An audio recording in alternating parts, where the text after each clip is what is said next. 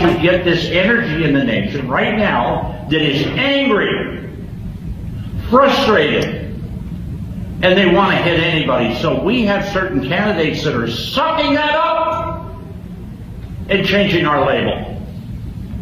As a party, we owe it to ourselves to speak out and not have the tail wag the dog. And not have somebody say all of a sudden, if you don't play my game, then I'm running as an independent. Hmm, remember when things said behind closed doors actually stayed there, and the people who said them wanted to keep them there in order to lend some power to an actual plan? Uh, we, of course, live in a world where nothing is secret. The foolish believe they have to record it all, brag about it.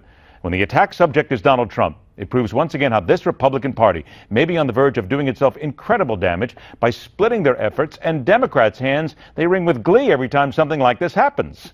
Let's make sense of it all then.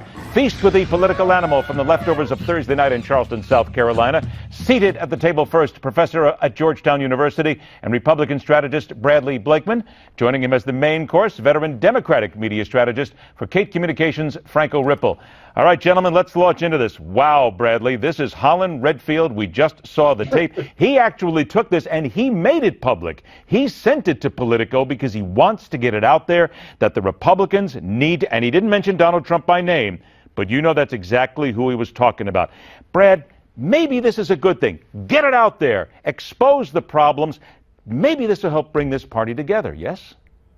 Yes, really. I think transparency and openness is a breath of fresh air. Let's get things from behind closed doors out in the open, discuss it. And at the end of the day, uh, Republicans are going to decide. The rank and file, the grassroots out there are going to go to the polls, are going to take us in the direction they think we should go. The question is, once that decision is made, will the rank and file Republicans respect that? And it depends on the nominee. Franco, from a Democratic strategist standpoint, can you use something like this to your advantage? And then tell us who you think won last night.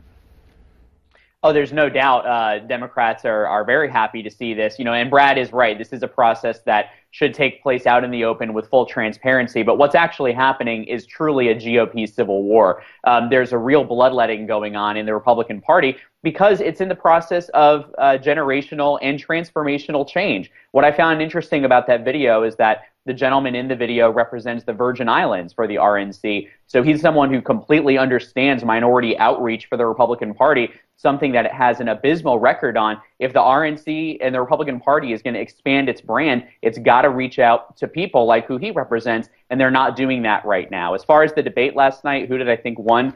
Uh, not really anyone. Trump and Cruz certainly went against each other on some silly lines, but I'm not sure there was a winner. I knew you would say that. I just had to set you up and see if you were going to go ahead and hit the softball.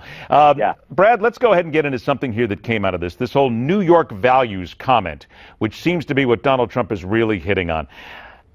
I grew up in New York. I get what he's talking about. I get what Cruz is talking about because a lot of the nation doesn't really like New York and really doesn't get along with New York. So I understand it. In the same breath, though, is it not possible that this is still a strategy because he realizes it's a long strategy? And do you think he's really worried that there's a backlash from New York? Or is this going to really hammer away and hurt him? No, it's dumb. It's dumb for any candidate to disparage an important part, any part of the country he's going to hope to seek to represent. Look, I'm from New York, born and raised in New York. I'm a conservative Republican. Uh, New York is a diverse state. Um, it, but for New York City, it would be uh, a, a rule state. But doesn't it show uh, that, though, Brad, that when he says something like that, when Cruz says something about this, it shows he does not understand that there is a absolutely. difference between yeah. New York State, between Albany, between the Hudson Valley, Rockland County. New York City, and Long Island. Huge difference. N- absolutely, like night and day. And that's why we say when we're Long Islanders, upstate. Upstate can actually mean Westchester to us. um, the, bottom line is uh, look at the GDP alone of New York. It's third in our nation. Uh, look at the spirit of New York, as Donald Trump correctly put. Look, he walked into a buzzsaw last night, uh, Cruz, and he should have saw it coming. He also should have saw the attacks on his citizenship coming from Donald Trump. And to me, Ted Cruz is not proving to be the smart debater that everybody says he is. It certainly does seem that way with the New York comment. 90 seconds to go. A couple of things. Let's get through them quick. Franco, let me come back to you. Washington Post title Hillary Clinton's national lead is slipping faster in 2016 than it did in 2008. Come on, Brad. This has got to have people on the left now thinking Bernie Sanders. Maybe we better get behind this guy a little more. Look, Bernie Sanders. No, oh, go, go ahead, ahead, Franco. It's to you. Okay, well, you know, I don't give that article a lot of credence necessarily because in the very same article, it also said don't pay attention to national polls yet. They change uh, dramatically, especially once voting begins. You know, what, what I always say is look more closely at the state polls. And there you can see right now in Iowa, she's out uh, outpacing where she was this time 2008. She was roughly minus five at this point out in 2008. Today she's plus five. Plus, when you get out of these first two states, which are really heavily majority white, uh, Bernie Sanders' support is going to really fall off because these more diverse coalition states, Hillary Clinton's going to do a lot better, like South Carolina. 30 seconds here. Planned Parenthood is suing over undercover videos, and this comes down now to an issue because it came up last night in the debate with Chris Christie and Planned Parenthood. Franco, to you very quickly. The Planned Parenthood issue, is it one that you believe Democrats will hammer on and use this against any candidate in the final go against anybody for an election?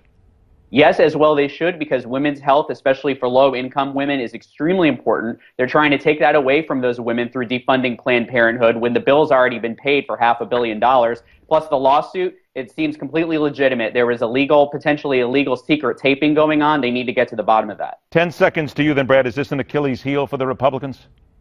Absolutely not. If anything, I think it's going to energize our base, and at the end of the day, it's going to expose Planned Parenthood for the for the ab- abhorrent practices that they do on a daily basis. We shouldn't be funding them. They should be on their own. If people want to contribute, that's fine, but no federal money. And we energize the base every single day. Here, Franco Ripple, Bradley Blakeman, thanks so much for joining us, gentlemen. And on the way out, make sure you tell us who won the GOP debate. Go to NewsmaxPolls.com. The hardline continues.